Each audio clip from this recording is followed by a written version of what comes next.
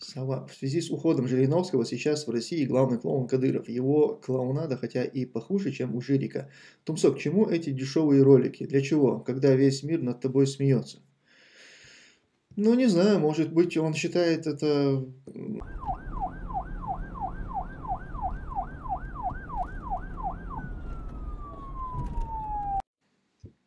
Томсо, ты выступаешь за Ичкерию и тем самым не признаешь деятельность одного из лидеров героя этой Ичкерии Закаева.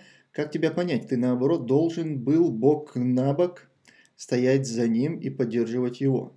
Смотрите, мы, а, чеченцы, мы являемся таким полноценным обществом и в политическом плане тоже. Поэтому у нас а, мы перешли из родоплеменного какого-то строя, мы уже сформировались как единая нация. Поэтому у нас внутри тоже есть свои, э, свои политические дискуссии. И мы можем быть, ну, допустим, какие-то люди могут идти э, к одной цели, как государственность, независимость, свобода для нашего государства. Но при этом внутри у себя вот, вот это вот, эти люди, идущие к одной цели, могут иметь какие-то политические разногласия. И это нормально.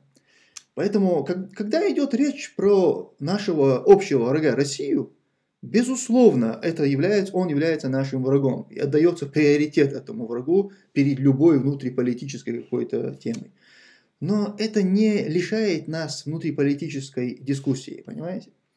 Поэтому Закаев, там, Идигов, любой другой человек, кто сегодня а, претендует на то, чтобы быть а, властью для чеченцев, к нему, соответственно, есть определенные претензии, есть вопросы, а, есть дискуссии.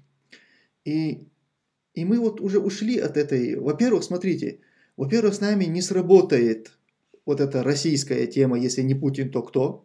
То есть нам не, ну, мне точно нельзя сегодня сказать, вот если не он, то кто? Ни один, ни одного из чеченцев нельзя вытащить и сказать, если не он, то кто? Понимаете? Нельзя. Потому что я просто высмею такого чувака.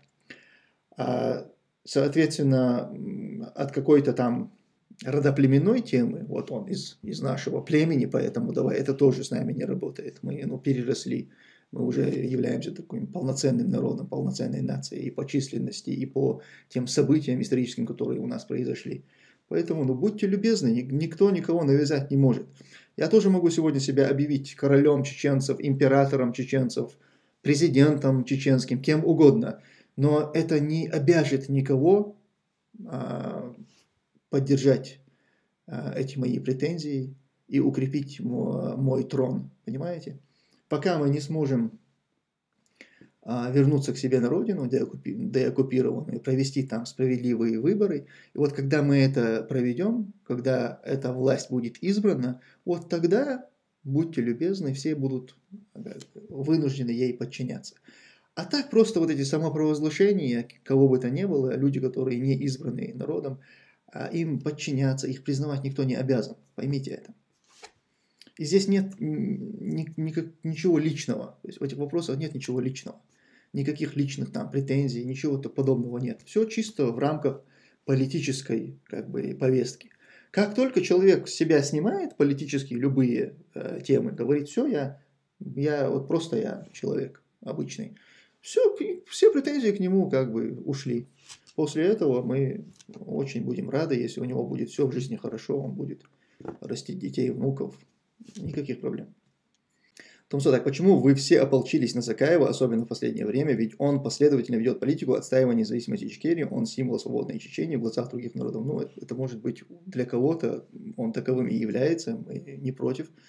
Я лишь хочу сказать, когда человек а, делает что-то полезное, кто бы это ни делал, это хорошо. И ни в коем случае по этому поводу никаких недовольств нет. Но а, чем не угодил, очень много претензий, они и озвучивались, и если надо будет в каком-то внутричеченском диалоге, они будут озвучиваться. Я думаю, что этот эфир не место для того, чтобы мы сейчас обсуждали какую-то внутричеченскую политику. Тем более, раз, э, я так понимаю, ты сам а, радеешь за то, чтобы мы все стали одним целым, там, ну тогда давай хотя бы не будем а, здесь об этом говорить.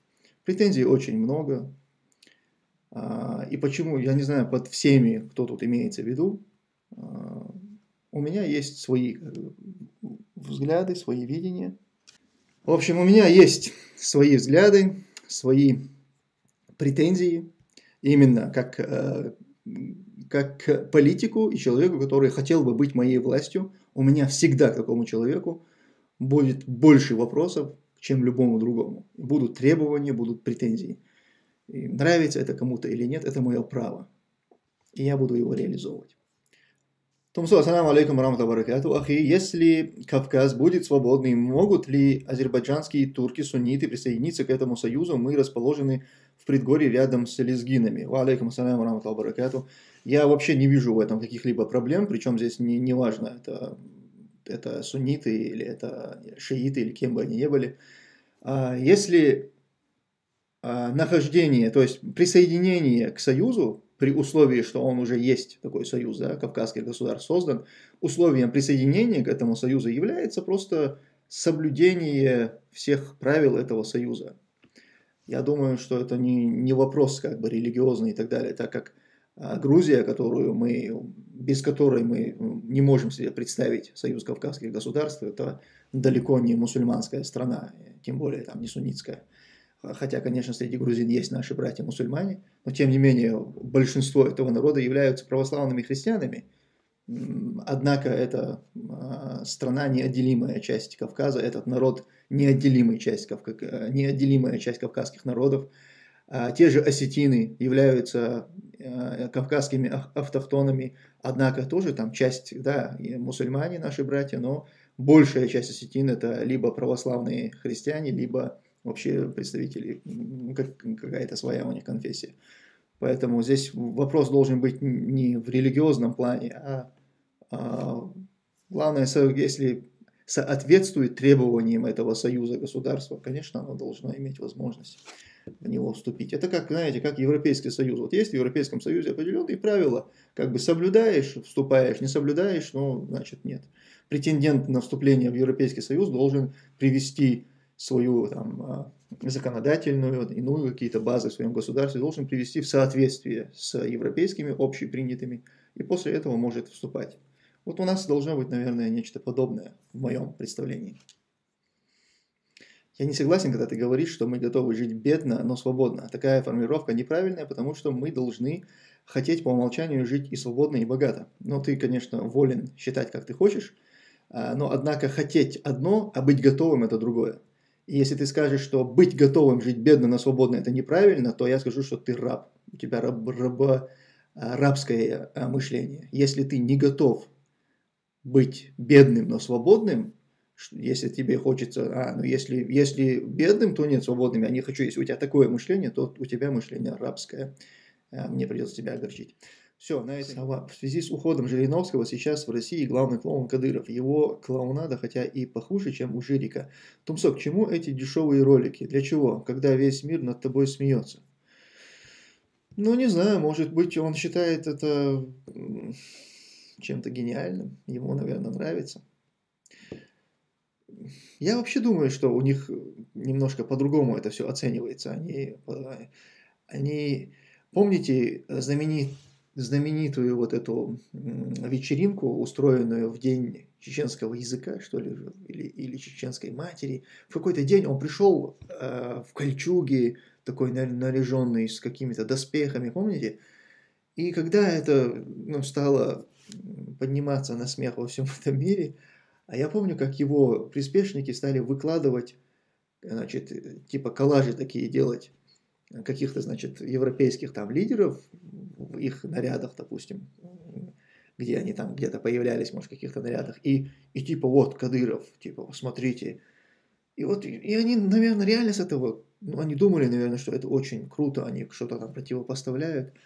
Но проблема в том, что, ну, даже если где-то какой-нибудь европейский лидер что-то себе подобное позволил, это ничуть не, не меньше смешно, чем то, что сделал Кадыров.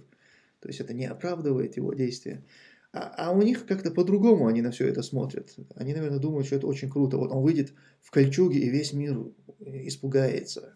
О, он же вышел в кольчуге, смотрите, какой он страшный, подумает Байден, допустим. Наверное, так они думают. Я не удивлюсь, если вот это реально такое мышление, что надо мир пугать, надевать кольчугу. Когда, помните, министр внутренних дел с двумя гранатометами стоял и что-то там угрожал Америке, помните этот момент? Но он же действительно думает, наверное, что это страшно, что в Пентагоне посмотрят этот, это видео и все, там все просто уйдут в месячные отпуска, им нужно будет где-то э, лечиться от, э, от психического расстройства.